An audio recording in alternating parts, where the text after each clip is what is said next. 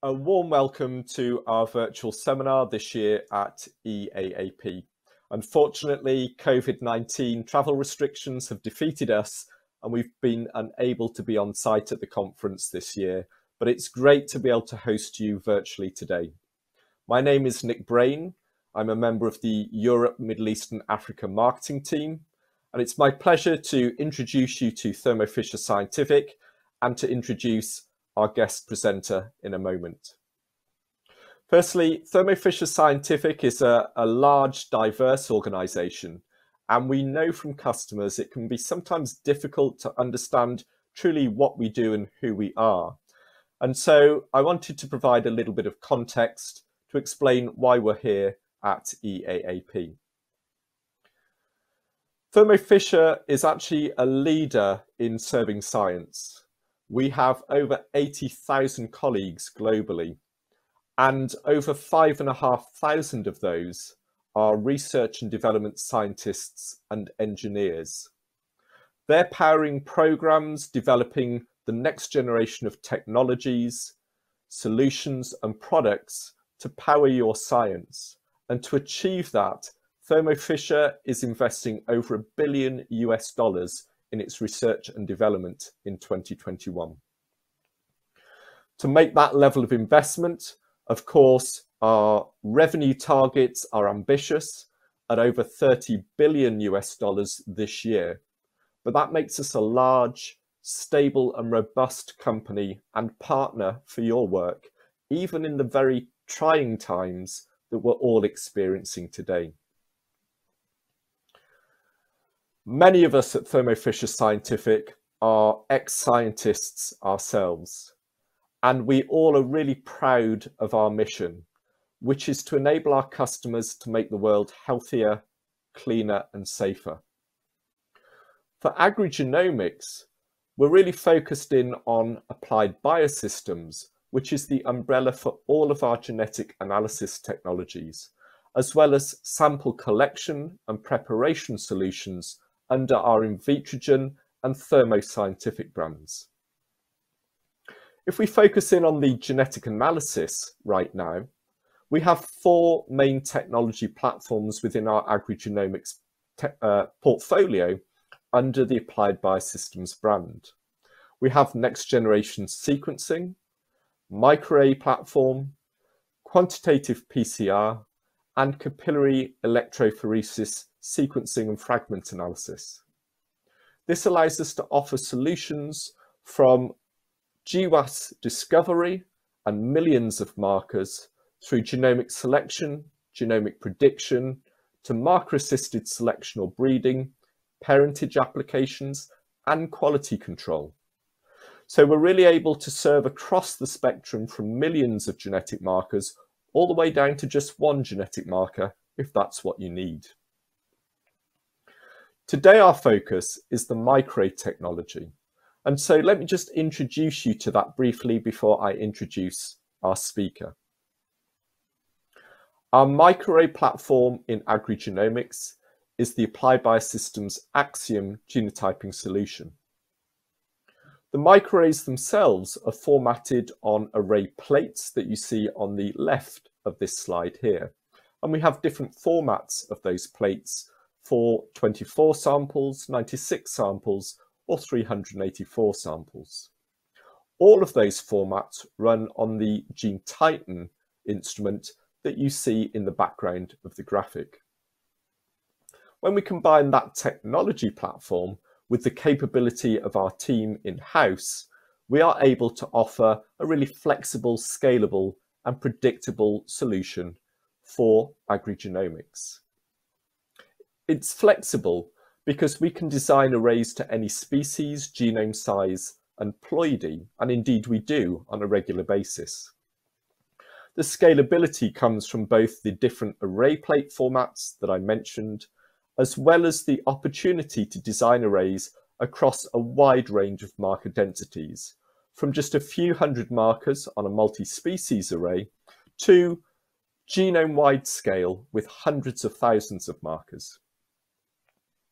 And the predictability comes from the fact that in agrigenomics, which is really a biomarker driven set of applications, we are able to design markers onto the array and know that when we manufacture those arrays, the markers will all be present. We do not suffer random marker loss during manufacturing, as can be experienced with other chip technologies.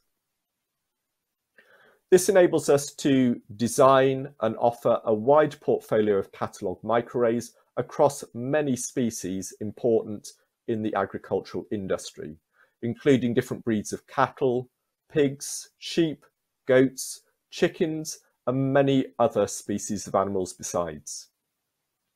In addition to the catalogue arrays, we have a real strength in custom array design. And there we have great expertise in-house and a pipeline that enables this to be very fast and efficient. When a customer comes to us to work on a custom array, it's a dedicated bioinformatics partnership with our design team who will advise and work with that customer through the process. Multi-species designs are supported for customers that want to consolidate different programs onto one array solution. And the custom designs are available for low minimum orders. So for a whole genome high density array, for example, as few as 480 samples is sufficient to go ahead with a custom design. And once the design is locked down and finalized, we're able to manufacture and deliver very quickly within six to eight weeks. It's custom microarray design that our guest speaker is going to focus on today, and it's my real pleasure to introduce him now. Guilherme Neumann is a PhD candidate in the field of genetics in the group of Professor Gudrun Brockmann at Humboldt University of Berlin. He has a Master in Informatics and a Bachelor degree in Biology, both from the Pontifical Catholic University of Rio de Janeiro in Brazil. His main interests are related to bioinformatics, computational genomics, and conservation biology. And today he will speak to us about some of the work contributing to his PhD thesis in Professor Brockmann's group. He's going to tell us about the content and design of the DSN 200K SNP array, which is a new tool to assist genetic diversity management in an endangered German cattle population. Thank you, Guilherme. Hello, everyone. My name is Guilherme Neumann, and I'm a PhD student at Humboldt University of Berlin in Germany. And today I'm going to present a part of my PhD thesis, which is entitled Content and Design of the DSN 200K SNP chip a new tool to assist genetic diversity management in an endangered German cattle population. This is a project done in partnership with the University of Gießen, also in Germany. And the main idea today is that I present some insights and technical information on how we designed our customized SNP chip. So I'm very glad to be here. I'd like to thank Thermo Fisher for this invitation and also thank you for the interest on hearing from me. So very brief description on the DSN. So the DSN is just a shortcut for the actual name in German, Deutsches Schwarzbuntes Niederungsrind. So in a free translation to English, it's German black pied. It's a Bos Taurus dual purpose breed, which means we use it for both milk and beef. And it's a black and white coat, genetically horned, as you can see. And it's considered the ancestral population of Holstein cattle so those are animals from the North Sea region, which were exported uh, mainly to the US and where they were used for very specific breeding programs generating then Holstein. So nowadays we have DSN producing from 7,000 to 8,000 kilo kilograms of milk per lactation, which is about 2,000 kilo kilograms less than Holstein. And because of this, DSN has been largely replaced by the Holstein cows in the last years, generating a current population size of about 2,500 animals. And for that reason, because of this small population size, this is classified as an endangered breed according to the Society for the Conservation of Old and Endangered Livestock Breeds. So it is also a official gene reserve um, subsidized by the German government. So the idea is to keep DSN as a gene reserve, as a pool of genes that could be used for genetically rescued in Holstein in the future if needed, for example. And it's also a way to conserve genetic diversity in Bos as a whole. So, um, so far what we have been uh, able to do is that we detected some variants and candidate genes in some important traits for DSN. Those are milk, um, mastitis resistance, and endoparasite infectious resistance. Those are mainly traits which are important in a context of having DSN inside organic farm. And also, um, we were able to develop a economic life net, lifetime net merit for DSN which enables us to which makes us able to evaluate the, the value of the of DSN in economic context. We also were able to impute the or to test strategies for imputation in small populations such as DSN, which is quite tricky when you don't have a huge reference panel the only uh, source of genetic information that we have been using into the moment is the Illumina SNP 50. So what we normally call the Illumina 50K and how I'm going to call it here today. And from the 54K variants that we have, normally after a call rate and manual frequency filtering, we only have about 36.9K in the DSN for more than 2,000 animals. So for that reason, we, we lost some information and we also miss important information regarding functional variants, and we have a shortage of DSN typical variants. And of course, an absence of rare variants, so variants which are in a lower frequency. For that reason, we realized that we had a gap when thinking about the application of uh, conserving DSN and as having a gene reserve. So it might be enough for certain applications, but when we talk about the gene reserve, we are actually talking about genetic diversity management, and ultimately at maintaining heterozygosity. So our main goal is to maintain heterozygosity, which ameliorates inbreeding depression and loss of genetic variation at loci that may become of importance in the future. So it, it may become, right? So uh, this is the idea of conservation. It's a unknown future, ain't no trades, um, and that's the beauty of it. and we can actually conserve Bos throughout those local breeds. But how really being aware of those loci that we don't know yet. And also we are we could be able to avoid genetic drift, which prevents deleterious recessives. So for example, rare diseases alleles uh, from drifting to a higher frequency and also prevents random drift of important functional traits. So with that in mind, um, we, desi we decided to customize a SNP chip for DSN. So considering both uh, whole genome sequencing variants and Illumina variants. So it means all those 36K variants that we had, we decided to keep using those, but adding variants that might be interesting. And those are DSN typical variants, functional variants, diverse findings, and differences between DSN and Holstein. With that, then we, you would be able to, rea- to approach more effective genome-wide association studies and work with marker-assisted selection, even though it's tricky because of the population size, and also work with genetic diversity management, our main goal, with mating suggestion, parent phage control, and so on.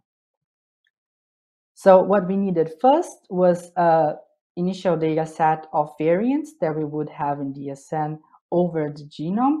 So we decided to sequence 304 DSN animals. Those were systematically, systematically selected.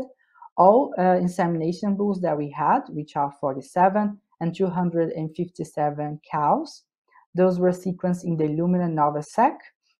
And we processed all this data according to the guidelines given by 1000 Bulls Genome Project. And also the filtering was done according to 1000 Bulls where you work with the variant recalibration, which is a machine learning approach done uh, in, on the GATK software. So afterwards, we had a list of 20 million high quality variants. Those were 18 million SNPs and 2 million indels. And that's interesting to uh, remember here that from this time on, we are working both with SNPs and indels. Afterwards, we also defined haplotype blocks. So of course, we couldn't work with this 20 million variants. So it would be nice to have a genetic distance understanding of those variants. So for that reason, we defined the haplotype blocks in PLINK, and those were 186K. So at this point, we had to decide, of course, which platform we were going to use. That's why I am here, because we decided to use the Axiom design from Thermo Fisher. This is a very personal decision, of course, and especially the size of the SNP chip. It depends on how many animals you have available for uh, genotyping and how many markers you want. So the more markers you have, the cheaper it gets. So yeah, I'm not going to discuss it here. What I can say is that the one that we uh, selected has about 96 samples per chip and it's up to 200k probe sets. So what you need to know is that what you give to Fisher is a forward strand. So you give a sequence of seven to one bases where you have in the middle your variant, so the variation. And yeah, Fisher will tells you how likely how likely it is that this probe is gonna work at the end. And even not only for the forward strand, but also for the reverse strand. And what you need to know as well is that sometimes when you have GCs and ATs variants, then you might need uh, two probe sets per marker, which is a technical um, aspect of Thermo Fisher uh, technology. So at this point, you might wonder, okay, but probably how long it takes, it would take years or, or whatever. And actually, this is how long it took to our case. For us, what took the most was the whole genome sequencing. This is, of course, the most time consuming part. For us, it was about four months. And yeah, we had 300 animals, but it depends if you have your data or not. And the array design took about three months, but it could actually have taken less. It depends on how clear is your criteria and how aware you are of what you want. So just to have to give you an brief understanding how you interact with Thermo Fisher. So uh, you have a first meeting with them where they, you discuss uh, the marks, market selection strategies. So they tell you what you should uh, keep in mind and what is just advisable to do. And you agree on a list of variants that they are going to proceed with in silico scoring. So this in-silico scoring is a machine learning algorithm that they have on their own, and it's based on their database and also on other aspects. And they tell you uh, how, how likely it is that this variant is going to work at the end. And then they also uh, advise you on very specific topics that is important to your work. And in our case, they helped us with the a decision about the parentage panels and also with mitochondria because we wanted to have as many variants uh, from mitochondria as possible. And so they gave us all variants that they have in their database for mitochondria. And also they advise you at the end as this last um, step, how many probe sets you should have per marker. As I said, ATs and GCs, you normally have two, but uh, in some cases for important um, important variants of yours, you may say, no, I want to have also two or even more, and they help you with this decision. And as soon as your SNP chip is done, the design is finished. So of course you go for genotyping, and then they also help you with the development of the library files. Actually, they do this for you, and you might ask them for some changes if you want and then you use these library files in the Axiom Analysis Suite, which is the software for the genotyping. So first things first, things first what we need to, to, to start doing is, of course, to reduce the number of variants that we have. So we had 20 million variants. So the first thing that you need to do is to remove all variants that are clustering with another variant in a neighborhood of let's say 30 base pairs. It means all variants which had another variant uh, which is within 30 base pairs should be removed. So this is what Thermo Fisher says. And in our case, since we have too many variants anyway, So we decided to remove everything within 35 base pairs, which means we would have at the end probe sets of 71 base pairs with only our target gene, uh, our target variant, nothing more. However, in, in the case we had like important variants of ours that like GWAS results that we still wanted in the ship, so we allowed a clustering within uh, 20 base pairs. And yeah, Thermo Fisher says that for diploid organisms, it's still possible within 20 base pairs. So you can see this is the most crucial step regarding filtering. You, you lose most of your variants here. So in our case, we reduced the size for 8.9 million variants. And afterwards, we also had all the filtering uh, thresholds like the coverage. We removed everything with a lower, uh, a, a, coverage lower than 3000 reads because we had 300 animals. So we would expect 10 reads per animal and also the allele frequencies. You may do it with minor allele frequency. Here we used alternative allele frequency and we removed everything which was less than 5%. However, when we had variants which were DSN unique, so variants that were only occurring in DSN and were not occurring in other breeds closely related to DSN from 1000 bulls, so breeds that we had information, then those variants we kept, variants which were higher than 1% in allele frequency. So this was a risk that we took to have this lower frequency variants, but those are variants unique to DSN and also rare variants. So we wanted to, to have those if possible. And here it's important to say that we're only talking about variants filtering, so you're not selecting anything yet. So this list of 5.6 million variants was sent to Thermo Fisher, uh, where they actually then do the in silico scoring, so based on forward and reverse trained, and tell you which is the best probe set to use per marker. And they give you a p-convert score, which is this a measurement of how likely the probe set will work at the end.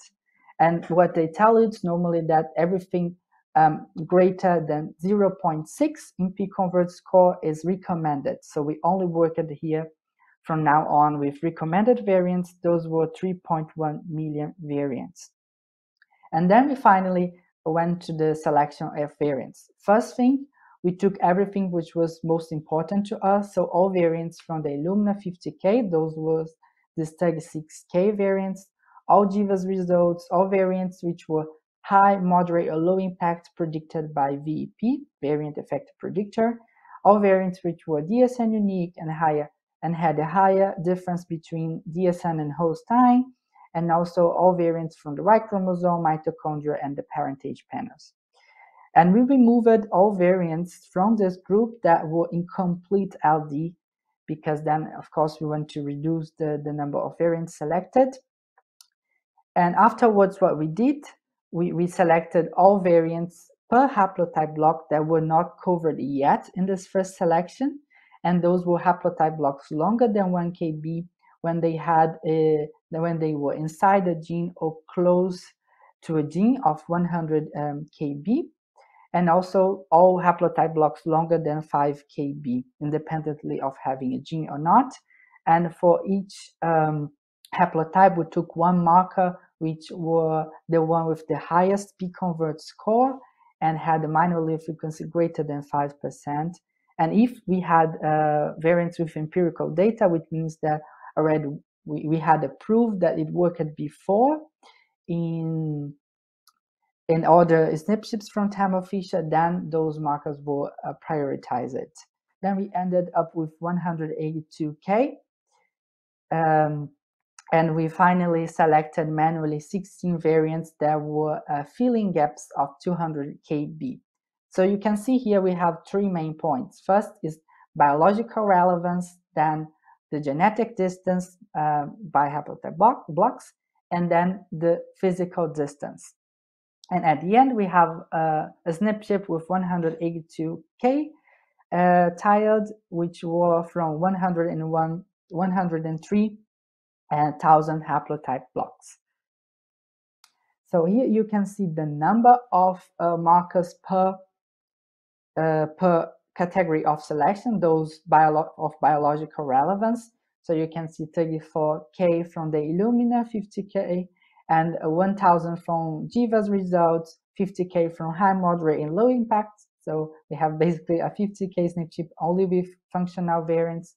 And we have 38K from DSN unique, 55 which a high difference between DSN and Holstein, 321 from Y chromosome, 272 from mitochondria, and 554 all markers from the ICAR and ISAG parentage panels, and then 58 from the haplotype blocks, and, 15, and 16 from gap filling.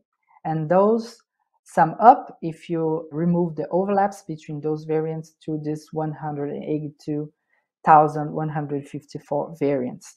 So of course, here you have uh, some overlaps between, for example, high, moderate, and low impact variants to the Illumina 50K or to GWAS, right?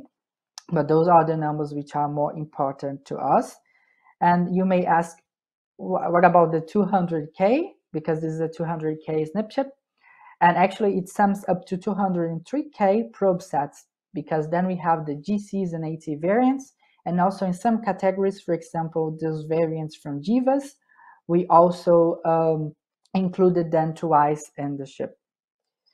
So here you can have an idea of the physical distance, so the distance between tiled uh, variants in the ship.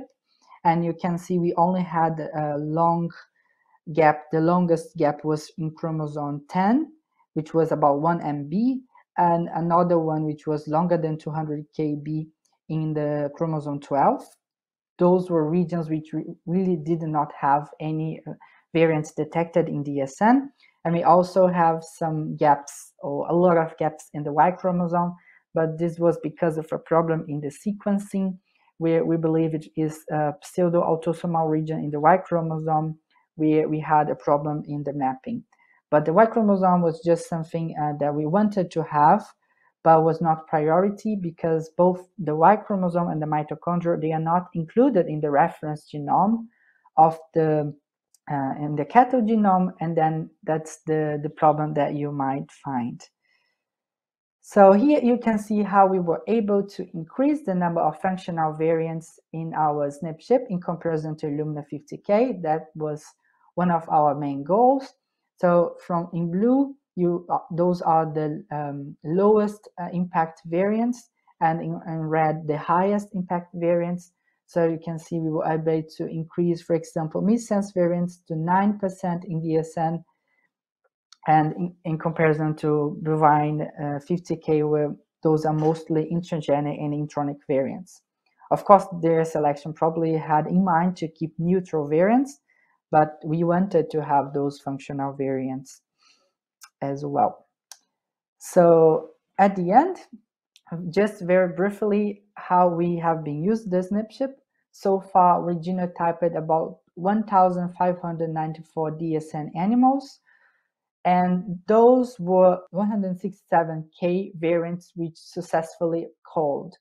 So this is about 91%, whereof 80 86% is segregating DSN at a minor allele frequency greater than 1%. So this calling here, it's not only the calling itself, technically speaking, but it considers also the genotype clustering done by the software and also the all the filtering that you do. We used all the default thresholds by Thermo Fisher, and we also checked the, the quality per marker. So yeah, we may ask, okay, is this nine to one good or not? It depends on what you wanted. So in our case, we took the risk to have variants that were not calling or even not segregating. And when we look at this table here, we can see the failing variants, they are mainly from the street groups, the high, moderate, and low impact, DSN unique and haplotype block. And we believe the main reason is actually the allele frequencies, which makes sense if we look at the minor allele frequency from the sequencing data, we see it's quite low. So in DSN unique, it is really low. So it's about 0.03. And in the other two groups, it is not so low, but if you look at the standard deviation, you can see that some variants, they are actually very low in frequency.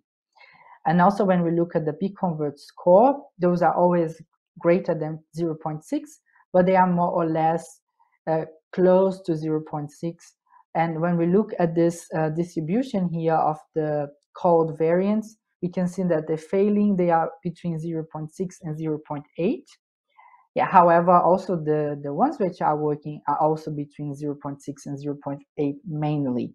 So this is not the only reason. Probably there are a lot of other reasons behind, and we believe it's mainly because of the allele frequency, like I said, and also the sequencing uh, quality. So we were not so conservative because we wanted to keep as many very important variants as possible. And this is depend on you if you are Uh, uh, open to lose some variants. Otherwise, you should be more conservative about this. But if you want to know a little bit more about the performance of the SNP chip, this is not the main idea here. You can check out my presentation in session 46. And this is the abstract number. So I believe it's going to be recorded somewhere in the EAAP website. Um, so to conclude, we are very glad that we were able to develop a customized SNP chip for DSN, included very important functional variants, this is a very flexible and diverse selection of variants. And it was not very time consuming, it was very straightforward solution. Of course, there might be other solutions for genetic diversity management, well, but we believe that this is one of the most cost effective solutions. And the most interesting thing about it is that we are able now to update the failing variants. So we could, for example, take 10K variants from the SNP chip, which are not so nicely working, and just replace those with variants with a stricter minor allele frequency and quality control thresholds. So that's the nice thing about it. And uh, I hope you enjoyed and you learned something that might help you with your design. Of course, I'm able for questions. And I would like to thank uh, the DSN breeders and RBB for supporting us with data and material for, from DSN animals and also Thermo Fisher for the invitation today and also from the support given during all the design of the SNP chip. And also thank the, of course, the funding from the Federal Ministry of Food and Agriculture of the German government. Thank you very much. Thank you, Guillaume, for a great talk. Unfortunately, a recording error during the live EAAP workshop prevents us from bringing the Q&A session to you on this on-demand stream. Our apologies for that, but let's return to the workshop now. If you would like to learn more about how we can support your success in agrigenomics at Thermo Fisher Scientific, you really have two choices. You can join us at our virtual booth at the EAAP Virtual Expo. There you'll find some really great short interview videos with our customers, as well as, of course, information about our agrigenomic solutions. You can also visit our website at thermofisher.com forward slash agrigenomics, where there are many more case studies, recorded webinars, and of course, information about the solutions we can offer. There you can also request further information from us via a form on the website. I'd also like to bring to your attention two developments in our microarray portfolio. The first is a new microarray for bovine for cattle research, which will be launched in September this year. This is the new Axiom Bovine Genotyping 100K array. It'll be made available in our high throughput 384 sample format, as well as our mid throughput 96 sample format. The array has been designed with collaborators to support applications such as dairy genetic evaluation, parentage analysis, and genomic and trait selection. On that last application, the content of course therefore includes very important markers that are trait specific for that research. You can see on the right of the slide some of the sources of content that the team have collated to form this 100,000 marker array. If you'd like more information about this and to be alerted when it launches, please fill in our web form at thermofisher.com forward slash agrigenomics and we'll be happy to let you know once the array is available. And then the second update is for the pig breeding world. We are now in the process of designing a new pig breeders array on the Axiom technology platform. And here we're asking for collaborators to help to design the content. If you have markers in pig breeding that you feel are very important to include on this type of agrigenomic tool, then please get involved. You can contact us quite easily to suggest markers that you would like included to really ensure that this array contains the content most useful to the pig breeding community. The array is going to be designed with commercial breeds in mind, but also wild European boars, and for applications such as trait marker association, genomic selection, parentage, and specifically host genetic infection research. So for example, the array will contain markers for African swine fever and PRRS. If you would like to get involved at whatever level, it's very simple to do this. Please just email our bioinformatics team here in Europe at bfxemea at thermofisher.com and they'll be happy to respond to you to understand how you'd like to contribute. Closing date for design input is Friday the 15th of October 2021 and the design will be finalised and available by the end of this year. That leaves me with one last thing to do, which is the thank yous for this virtual workshop. First of all, a warm thank you to Guilherme Neumann for his really great talk about why he chose to make a custom microarray and his experience working with the team at Thermo Fisher Scientific. Secondly, thank you to you for your interest and for attending this virtual workshop. And finally, of course, to the EAAP organisers for giving us the opportunity to share this with you.